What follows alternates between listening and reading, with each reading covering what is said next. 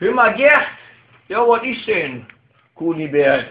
Ja, hör mal, ich war gerade zweimal auf Toilette. Was, du warst zweimal auf Toilette? Ja, zweimal auf Toilette, da wieder Ding rausgelassen da. Und dann leck mir doch am Arsch, du Scheiße. Ja, weißt du, zweimal auf Toilette, gut, dann brauchst du nicht nochmal gehen, du blöde Sau.